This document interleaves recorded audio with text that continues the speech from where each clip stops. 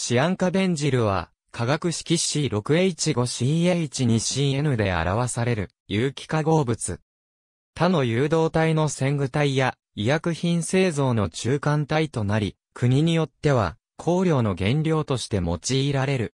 塩化ベンジルとシアン化ナトリウムとの反応により生成する。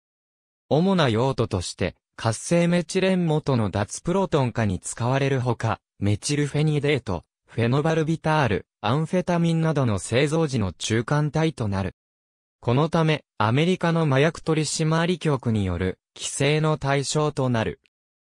天然には、胡椒草の精油やネロリ油に存在し、香料向けの合成品は、シグマールドリッジ社が製造する。重いフローラル調の香りを持ち、ジャスミンや橙花などの香料の調合原料に用いられることがあるが、日本では使用されない。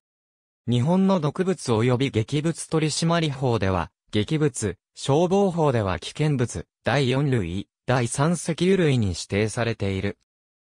毒性に関しては、ラットに、蛍光投与した場合の半数致死量が 270mg、キログラム、ラットに、経費投与した場合の LD50 が 2g、キログラム、マウスに吸入させた場合の最小致死量が 100mg、キログラムの調査結果がある。ありがとうございます。